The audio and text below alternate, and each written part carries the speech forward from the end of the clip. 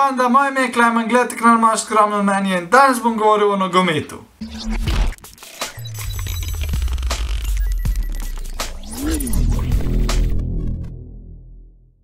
Jutri se končno uradno začne nova sezona najkakovostnejšega klubskega nogometnega tekmovanja Lige prvakov. In v tem videu vam bom povedal, kaj v tej sezoni Lige prvakov pričakujem jaz. Zato je po mojem najbolj, da začnem kar s hitro napovedjo skupinskega dela. In ker smo se ljudje abecedo zmislili z razlogom, bom seveda začel pri skupini A.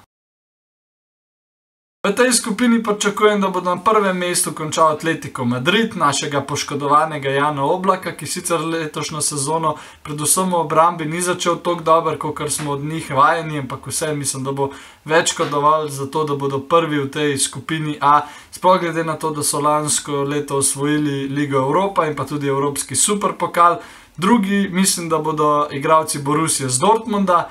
Nekako se mi Borussia zdi, da je vsak let slabša, prodajajo skozi več svojih dobrih igralcev, kar seveda ni dobro za razvoj kluba. Enako velja tudi za Monako, ki pričakujem, da bo tretji, brez glih velikih možnosti za napredovanje, pa bi na zadnje mesto postavil Bruž.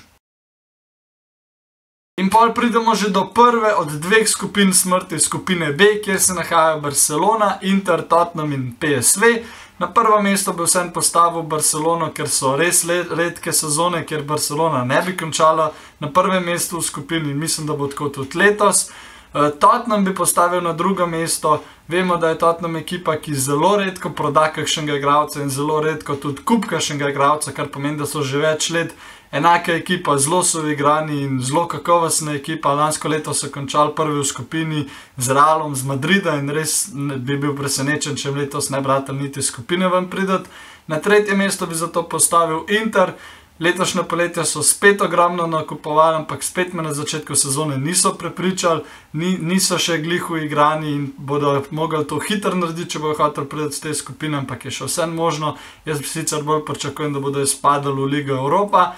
Na četrtem mestu pa sem kar siguren, da bo končal PSV. Še druga skupina smrti pa je skupina C, kjer se nahajata kar zame dva od glavnih favoritov, Liverpool in PSG. Na prvo mesto v skupini bi celo postavil Liverpool, lansko leto so bili seveda v finalu lige prvakov, letos pa se mi zdi, da so še boljši in kaj približen tazga pričakujem od njih tudi letos, tudi v eh, angliškem prvenstvu so še nepremagani, tako da vidimo, da so res dobri. Eh, PSG bi bil kar presenečen, če ne bi bili vsaj drugi, že če pogledamo njihov napad. Neymar, Mbappé in Cavani, pff, nimamo kaj za reči.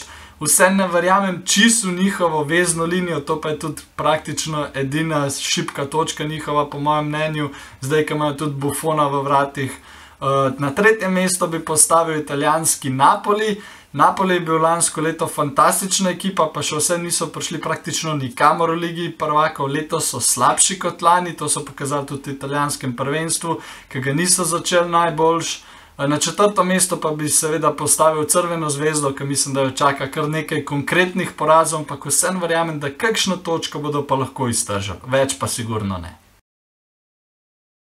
Od dveh najbolj kakovostnih pa se zdaj selimo, po mojem mnenju, najmanj kakovostno skupino od vseh skupino D, kjer mislim, da bo prvi končal Porto.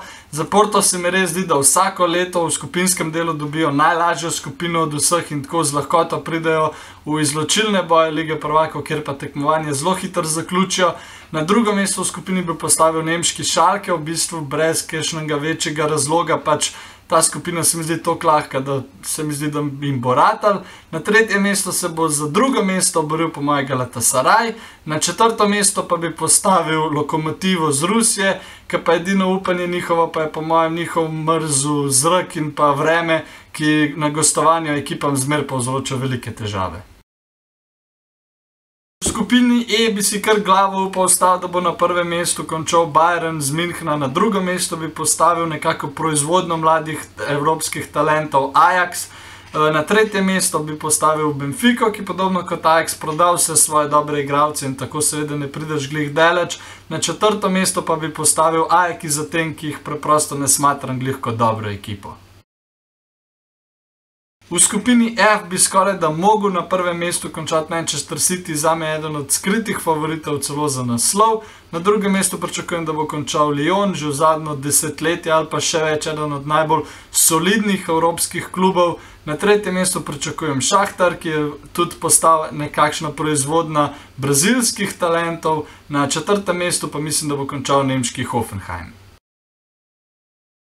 V skupini G pa prvo mesto napovedujem lanskoletnim prvakom lige prvakov Realu z Madrida, ki jih bo zelo zanimivo videti, kako se bodo v ligi prvakov letos znašli brez Cristiana Ronalda.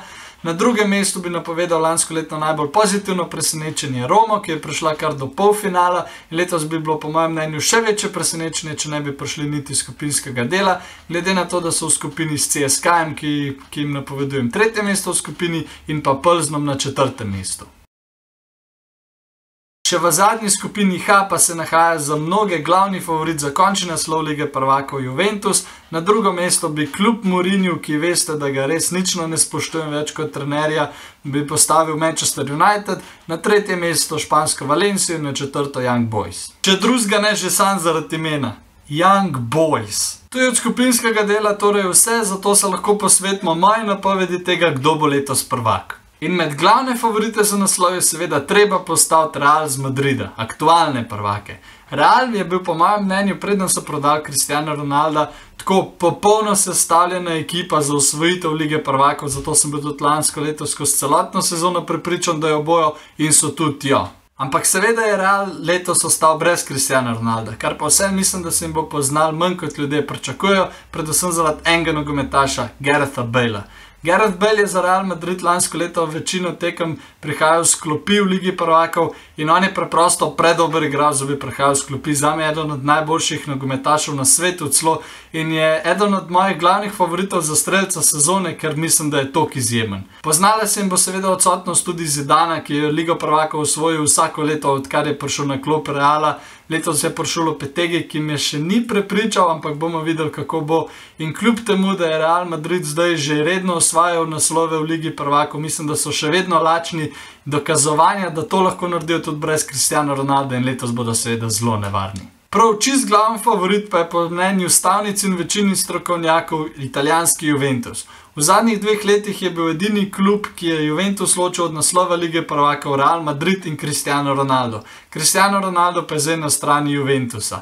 In če je Cristiano Ronaldo znam po čemerkoli, je to po številu golov, po osvojenih naslovov v ligi prvakov. Pa frizure. Ampak Juventus se meni vsem zdi ta klub, ki ne more in ne more usvojiti lige prvakov. Mislim, vem, da so bližje prvaki, ampak so veliko večkrat zgubili v finalu, kot dejansko bili prvaki in velikrat jim je čist mal zmanjkal in zdaj se meni zdi, da so že počas znani v tem v ligi prvakov. In tudi letos se mi zdi, da jim bo mal zmanjkal, ne vem točno, kdo jih bo izločil, ampak mislim, da nekdo jih bo in da zopet ne bodo prvaki.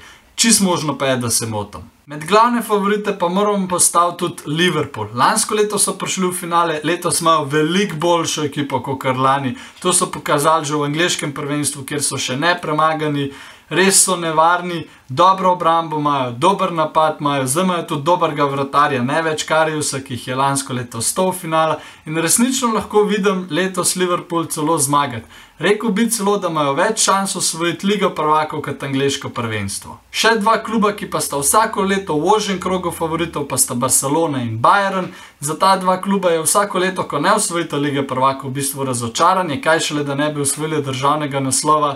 Oba ta dva kluba se letošnje poletje tudi nista preveč okrepila, kar pomeni, da verjamete v to zasedbo, ki jo imate in da so te igravci zdaj že zelo dobro uigrani in tudi letos seveda so ta ožji krog favoritov. Še dve ekipi, ki pa bi lahko osvojili ligo prvako letos, ampak ima vsem da malo manj možnosti kot prej omenjenim, pa sta Manchester City, ki ima res postavo za dol padati, njihova rezervna ekipa je boljša od treh četrtin klubov v ligi prvakov, ampak vsem v Evropi se do zdaj niso znašali in letos ne verjamem, da bodo prekinili ta trend in pa tudi ne smemo pozabiti na pariški PSG, kljub njihovemu napadu, ki sem ga že prej omenil, in fantastični ekipi, jim vse manjka še kakšen tist res zvezdniški igralec, predvsem na sredini, tam mislim, da jim najbolj manjka v igri in jim ne bi dal toliko možnosti kot prej omenjenim.